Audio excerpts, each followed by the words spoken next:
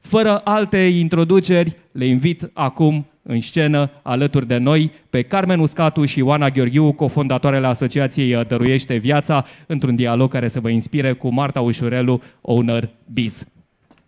Mulțumim foarte mult, Teddy! Bună ziua! Și bine ați venit, doamnelor! Bine în primul rând, găsim. vreau să vă spun la mulți ani.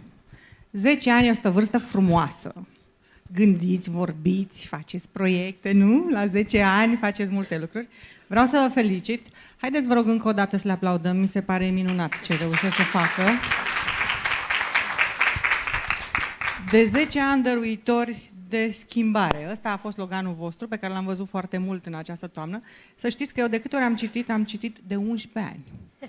Uh, cred că deja intrați în al 11-lea, așa că eu sunt acolo cu un pas înainte. Uh, ce înseamnă pentru voi 10 ani de dăruiește viață, ce înseamnă pentru România, ce înseamnă pentru sistemul medical? Pentru noi cred că înseamnă mai mult sens pe care ni-l aducem în viață.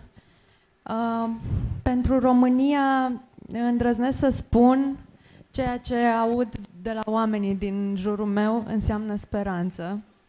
Uh, pentru că am reușit să finalizăm sau să începem uh, uh, proiecte despre care uh, tot timpul autoritățile ne-au spus că nu se poate, că nu se pot face. Um, ziceai de 11 ani, că îți vine să zici 11 ani. Noi de avem, trei ori mi-a venit da, astăzi, să știi. Să știi că noi avem 10 ani de dăruiește viață, dar avem mai mult de 12 ani de când am început să facem lucrul ăsta și am făcut-o în regim de voluntariat. Um, E un pic copleșitor că am împlinit 10 ani, am crescut așa de mari. Ne-am fi dorit ca la ăștia 10 ani să inaugurăm și spitalul. N-a fost să fie, că a fost o pandemie și au fost atât de multe lucruri pe care nu ni le-am imaginat la, la început uh, și dincolo de asta și nu apucăm să vorbim suficient de mult, dincolo de acest spital la care se uită toată lumea, am avut de făcut un milion de alte lucruri acolo, în clădire, practic am refăcut toate rețelele spitalului Marie Curie. Am construit încă o clădire de 2400 de metri pătrați, centrală termică, rezervare de apă, uh, vă zic, suntem o enciclopedie de construcții, dacă vreți, aveți întrebări. Uh, știm deja, am învățat foarte multe lucruri, uh, dar spitalul e gata, am început, știți cum e, vă amintiți de chestia, faceți o foaie de hârtie că e extemporal, în stadiul ăsta e spitalul acum, în fiecare zi de teste, teste la instalații, teste la BMS, teste la uși, e într-o permanentă testare, ne e și milă de el săracul că e atât de testat. Dar e, la 10 ani e bine, suntem bine. Mi se pare minunat tot ce faceți uh, și cred că toate vin la timpul lor. Uh, sunt convinsă că aș fi vrut poate mult mai multe lucruri în ăștia 10 ani sau să se întâmple mai repede sau să se întâmple poate mai ușor, dar lucrurile nu se întâmplă cum vrem noi. Și asta am învățat în 10 ani. Cred că este foarte important cu toții să ne dăm seama că mișcăm enorm de multe lucruri și în special voi mișcați enorm de multe lucruri și că iată chișar și așa, cu două femei care îmi spun mintea și care nu se lasă, uite că lucrurile se întâmplă și se întâmplă frumos și ați construit mai mult decât se putea aștepta oricine. Uh, noi facem un spital, este mai mult decât o clădire, mai mult decât dotare cu echipamente și aș vrea să vă întreb de ce este important trainingul, de ce această pregătire continuă este necesară. Ah, se vorbește mereu despre educație și cred că asta este temelia oricărui uh, lucru bine făcut. Uh, și deși noi am început cu clădirea, ne-am dat seama pe parcursul anilor uh, că fără educație, fără training, fără colaborare, fără parteneriate cu, cu cei care au inventat de mult roata, cu cei care sunt zeci de ani în fața noastră, uh, nu o să, uh, nu o să generăm impactul pe care noi l-am crezut și în care încă mai credem cu acest spital, pentru că Uh, o clădire uh, e frumoasă și, și nu e doar frumoasă, e o aducere la standarde uh, europene și creează premizele unui uh, uh, tratament în care uh, un copil să poată fi abordat multidisciplinar, dar creează doar premizele acestor lucruri și fără a minimiza cu nimic toată munca noastră și toată susținerea de până acum a donatorilor și uh, a sponsorilor, uh, e nevoie de o implicare pe, pe termen lung și e nevoie de aceste uh, traininguri uh, pentru a crea uh, centre de excelență. Poate sună pompos, dar pentru a crea locuri în care uh, atunci când părinții vin cu copilul lor, uh, să aibă speranța că o pot face ca ori, ori în oricare alt uh, loc uh, din Europa. Asta e ceea ce, ceea la, e lucrul la care visăm, nu se va întâmpla peste noapte, dar, Așa eu, va fi. dar am început să facem. Cum se implică Dăruiește Viață în, în toată această zonă? Uh, Dăruiește Viața a început să discute cu clinici de afară, uh, să încheiem parteneriate și să convingem echipele medicale că au nevoie de un pic de mai mult, pentru că avem suntem într-o zonă în care există multă reticență, cu toții avem rezistență la schimbare, nu e nimeni ferit. Acel avem de toate de la colectiv da. are așa În continuare avem de toate, nu? Avem, da. Nu întotdeauna, dar... Nu, mă referam că ăsta e un slogan de care ne-am săturat, exact. în păcate. Da. Și atunci, cred că Deschiderea clinicilor de afară e foarte mare. Oamenii doresc să împărtășească din ceea ce uh, au învățat ei în toți anii ăștia. Uh, rămâne doar să avem și noi deschidere și la asta Carmen cred că știe cel mai bine, că e cumva uh, zona ei cea mai puternică. Deja a discutat cu niște clinici și poate să povestească mai multe despre, despre asta. Cum au reacționat? Uh, Clinicile de afară au astfel de programe pentru trainingul medicilor, pentru trainingul asistentelor medicale. În, în acest weekend plecăm uh, să vedem un spital care are un program acreditat uh, și unic în afara Americii pentru trainingul asistentelor medicale. Uh, am fost în America la St. Jude, care e cel mai mare spital de oncologie pediatrică, are o rată de supraviețuire în leucemii de 97%. Doamne, ce frumos! Da, și are, uh, acest spital are un program la nivel mondial, dezvoltat împreună cu Organizația Mondială a Sănătății, prin care uh, sprijină țările să ajungă până în 2030 la o creștere a ratei de supraviețuire, uh, la o dublare a ratei de supraviețuire, acum e 30% la nivel mondial și vor să ajungă la 60%. Și are dezvoltate programe cu fiecare țară care își dorește să intre acolo. Noi ne dorim să intrăm acolo. Noi ne dorim... Noi și ce trebuie să facem? Nu e complicat, e desemnat un memorandum cu Ministerul Sănătății și uh, St. Jude, uh, Global Health din uh, Statele Unite, uh, iar apoi ei au 100 de oameni dedicați acestui program la nivel mondial și sprijină fiecare spital în parte, pe partea de research, pe partea uh, uh, de uh, publicare, uh, pe partea de protocoale, uh, cu medicamente în țările sărace, uh, fac foarte aplicat pe fiecare țară ce are nevoie. Mai întâi identifică aceste nevoi și apoi încearcă să, să sprijine. Deși ne dăm cu toții seama, vreau să ne spuneți voi care sunt beneficiile atât pentru pacienți cât și pentru cadrele medicale, tot ceea ce faceți voi. Um, foarte mult de centrarea pe pacient, dar în România doar vorbim, din păcate, la fel cum vorbim de regionale și de spitale multe și de 30 de ani tot vorbim și nu prea facem. Uh, Centrarea pe pacient nu e doar o idee, e, e un lucru pe care ar trebui să-l facem și ăsta vine la pachet cu beneficii și pentru cadrele medicale și pentru pacienți în mod evident. Atunci când relația asta medic-pacient se va schimba și va avea o cu totul altă formă, pentru că în momentul de față cred că e cel mai jos din toate timpurile și românii, dacă îi întreb care cea mai mare angoasă a lor, cred că sănătatea e cea mai mare angoasă, această relație medic-pacient trebuie să se schimbe și trebuie să pornească de undeva. Când medicii vor merge la training și vor vedea, dincolo de uh, ce înveți ca medic, de partea medicală, uh, vei înțelege cât de importantă este comunicarea cu pacientul și cât de multe poți să rezolvi. Cred că ăsta e un uh, prim pas și uh, Ăsta e un prim beneficiu și și medicul își va putea vedea rezultatele muncii altfel. Se va, cred că se va putea uita altfel și cred că orice medic își dorește să aibă succes în meseria lui. Nu-mi imaginez că, că nu-și dorește asta și să vadă pacienții bine și mulțumiți. Este o speranță, cu toții ne dorim. Dar cum reușiți să faceți voi training și să vorbiți cu ei, ținând cont că știm că noi le știm mai bine, le avem pe toate, cine sunteți voi să mă învățați pe mine, cum, cum se întâmplă uh, lucrurile acolo în spate? Cu, cu ce asemăn eu uh, acest uh, traseu al pacientului acum e, uh, pacientul e ca acea minge de ping-pong care trece de la uh, un cabinet la altul și este tot împins de la un medic la altul, fiecare spune nu e treaba mea sau până aici a fost treaba mea. Uh, centrarea asta pe pacient înseamnă că uh, un medic este cel care uh, se ocupă de pacient, iar ceilalți medici vin în ajutorul lui și uh, se creează acea echipă, în, ca, în cazul cancerului, acele tumor borduri despre care iarăși vorbim și care în România lui 2022 nu există, deși oriunde în Europa există de 10-20 de ani. Uh, cum reușim să facem asta?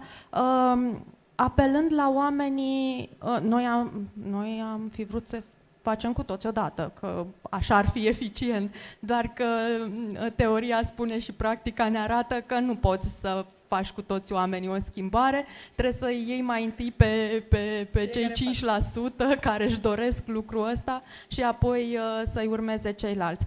Uh, identificăm uh, oameni sau echipe uh, de oameni tineri care își doresc lucrul ăsta și îi, uh, îi punem în contact uh, uh, cu, cu cei din străinătate, le povestim viziunea noastră, le oferim suport pentru a reuși să ajungă la training, le căutăm trainingurile. Toată munca asta, la un moment dat, va, va da rezultate. Am început deja mici proiecte, unul dintre ele pe terapia durerii, pentru că în România e normal să te doară când te duci într-un spital. Uh, oriunde în altă parte, durerea este considerată al cincilea semn vital și monitorizată. Și am început a, uh, aceste proiecte cu niște voluntari uh, români medici din America și am făcut traininguri pentru asistente și am făcut protocoale și am adus medicamente în farmacii și avem două secții pilot în Marie Curie și sperăm să extindem în tot spitalul și uh, Ehm, mai încet decât ne-am dorit noi, dar ehm, lucrurile se întâmplă. Spitalul este aproape gata, da? Va fi donat statului român. Vine întrebarea. Da, știi, cum vedeți voi mai departe? Ce se întâmplă? Um, voi veți mai avea vreo putere după ce l-ați donat? A, am să spun ceva ce o să sune un pic abstract. Aș vrea să începem să vorbim de excelență la stat. Știu că sună imposibil și că e un vis așa, că e utopic. Dar eu cred că se poate. Da, spitalul va fi donat, asta a fost înțelegerea de la început. Am construit pe terenul statului, aparține de drept statului român și în, noi credem că și trebuie să să, nu să luăm totul în privat, că asta nu se poate, ci să determinăm statul să-și facă treaba și să o facă la o, calit- la o anume calitate.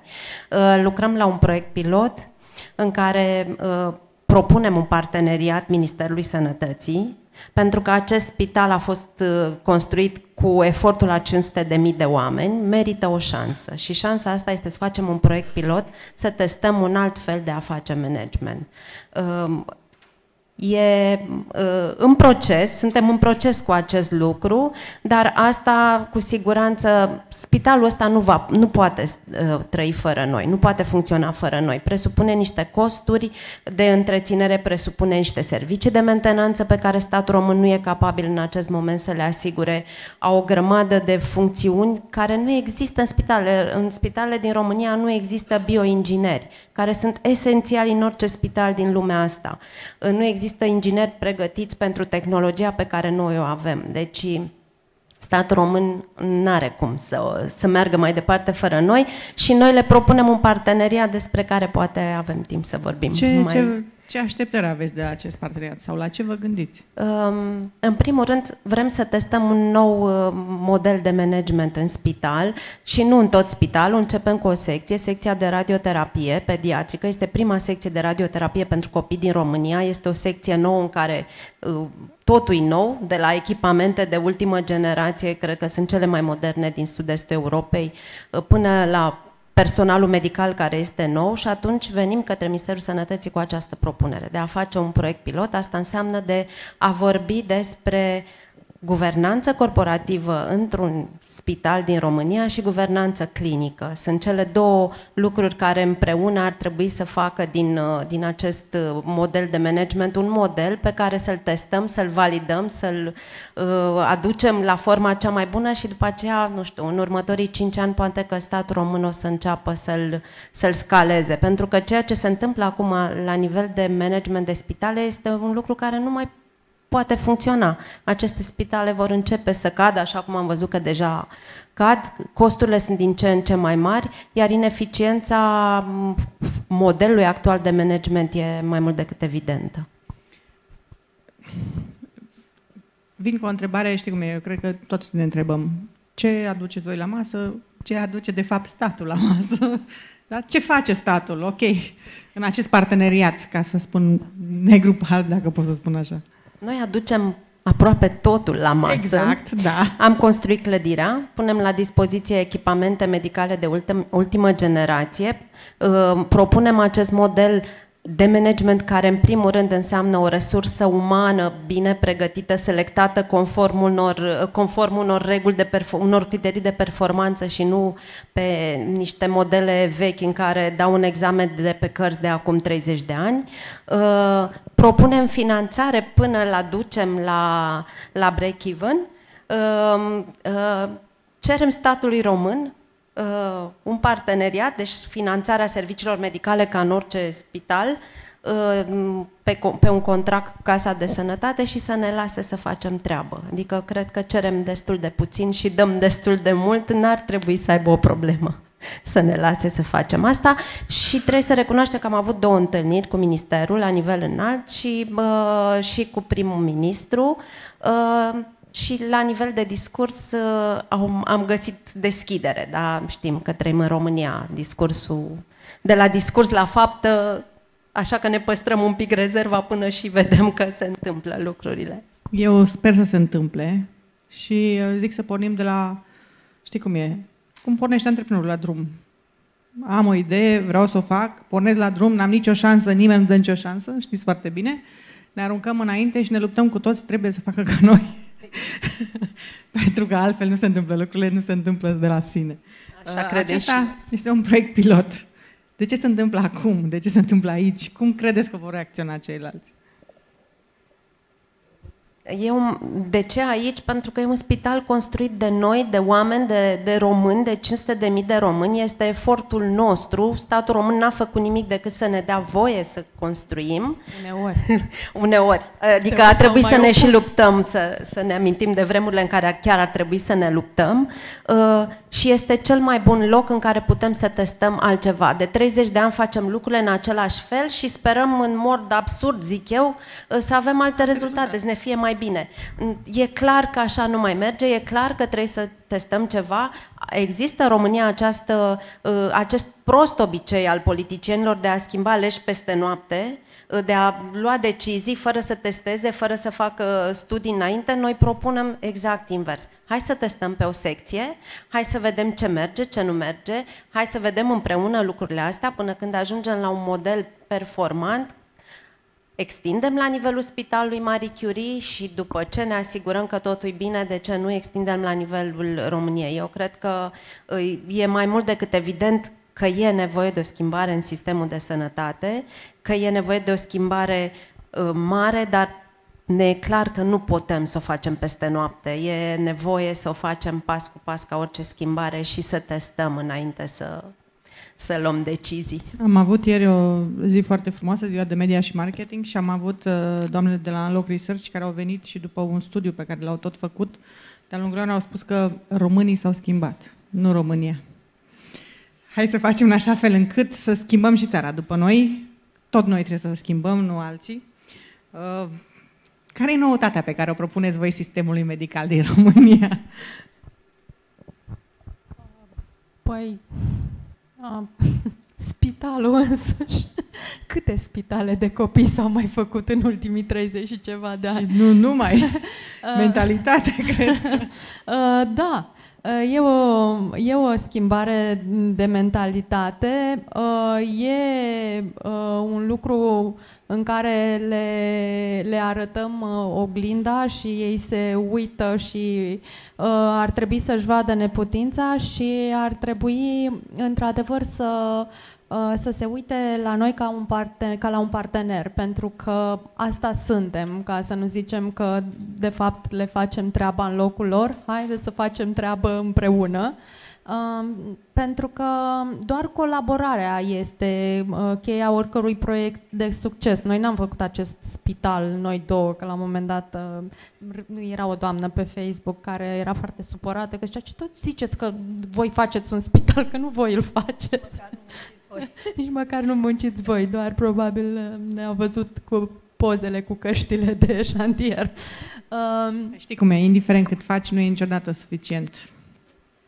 Da. E bine, uh, să, e, e bine să ai întotdeauna și oameni care n-au încredere pentru că te face să vrei să fii mai bun și să Și să cred faci că mai aceste bine. parteneriate pe care uh, în regulă noi le vedem uh, extinse cu și am vorbit până acum de spitale din afară, dar aceste parteneriate trebuie făcute și între spitalele și în rețeaua medicală de aici din țară, pentru că sunt lucruri care se fac mai bine în altă parte, sunt și o să dau un exemplu concret, sunt niște analize în cancerul uh, de sânge, în leucemii, care se fac foarte bine la Institutul Clinic Funde. Și dau acest exemplu pentru că e un proiect la care uh, noi ne-am adus o contribuție foarte importantă uh, partenerindu-ne cu domnul profesor Coriu, care e acum președintele Colegiului Medicilor și dezvoltând un laborator acolo și făcând un program, determinând uh, Guvernul României să facă un program pentru diagnosticarea leucemiilor.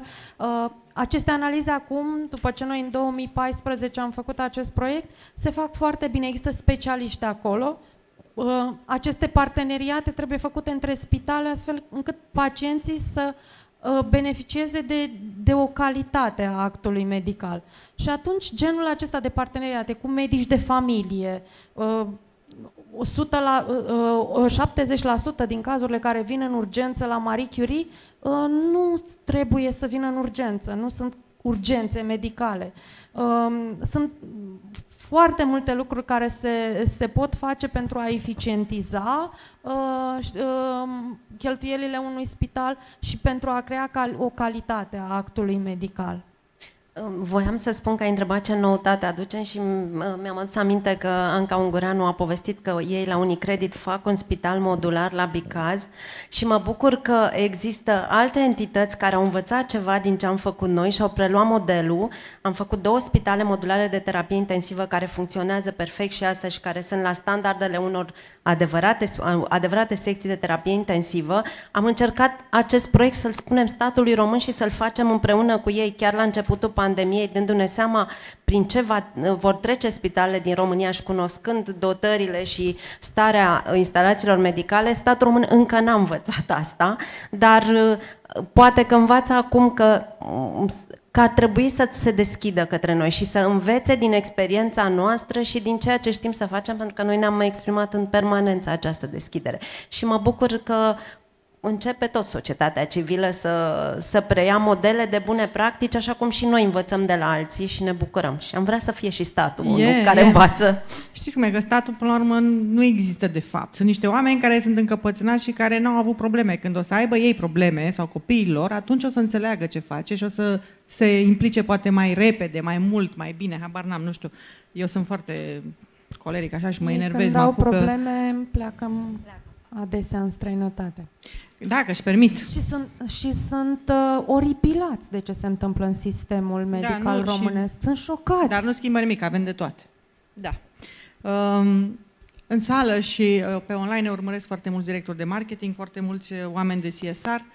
Ce le puteți recomanda celor care se gândesc, care vor să facă, să susțină un proiect de responsabilitate socială? Ce sfaturi aveți pentru ei? Um, să se partenerieze cu ONG-uri pe termen lung. Pentru că și noi și proiectele noastre și ei avem nevoie de sustenabilitate, avem uh, nevoie de predictibilitate uh, și atunci uh, cred că parteneriatele acestea pe termen lung între companii și ONG-uri pot aduce această schimbare la care visăm cu toții. Iar schimbarea nu se produce peste noapte, nu se produce într-un an, în doi, în cinci și poate nici în cursul vieții noastre. Dar ea începe cu o idee, continuă cu un plan și continuă cu implementarea lui și apoi continuă cu urmărirea. Pentru că ce observ în proiectele care se întâmplă în sistemul public de sănătate e că ele se fac, dar nimeni nu se gândește apoi la acea mentenanță. Noi pentru echipamentele de radioterapie, de exemplu, am încheiat un contract de mentenanță pe 10 ani și pentru toate echipamentele, și zic de acest proiect pentru că e unul uh, foarte valoros, uh, Uh, toate echipamentele pe care le cumpărăm încercăm să încheiem aceste contracte de mentenanță prin care să ne asigurăm că ele vor fi și funcționale atunci când vine pacientul în spital, nu vor fi doar uh, stricate și... Deci implicați-vă în proiecte pe termen lung. Nu alegeți proiecte punctuale care să fie doar un boom de imagine. Nu este susținerea adevărată. Cred că asta e și tendința, o observ exact această implicare pe termen lung care să genereze în mod real o schimbare. Concret și la obiect. Dacă cineva din sală sau dintre cei care ne urmăresc vrea să vă susțină, cum o poate face? Cel mai simplu mod. Um, Dăruieșteviață.ro este, dincolo de un site de prezentare al proiectelor noastre, este o, este o platformă de strângere de fonduri. Acolo companiile pot intra și semna un contract de sponsorizare în două minute online, îl primesc pe mail semnat cu număr de înregistrare, uh, uh, cu tot ce trebuie, nu mai trebuie decât să facă uh, plata. Um, Apoi, bineînțeles, primesc de la noi raportări, newslettere și lucruri de felul acesta. Intrăm într-o comunicare directă și uh, personalizată de câte ori e nevoie. Uh, persoanele fizice pot dona online, pot să-și facă cadouri, că vin sărbătorile lor sau uh, prietenilor, sunt, le numim noi cadouri cu sens. Uh, pot să-și facă zile de naștere, fel de fel de evenimente, s-au făcut și, și nunți la noi pe site, astfel încât cadourile uh, s-au luat. Școlile, foarte multe școli se implică acum și asta este una dintre cele mai mari bucurii ale noastre. Uh, școlile se implică și uh, cred că cel mai important, dincolo de banii, care nu sunt puțini, ultima dată am avut o școală care a vândut prăjituri și au strâns 50.000 de lei, foarte mult.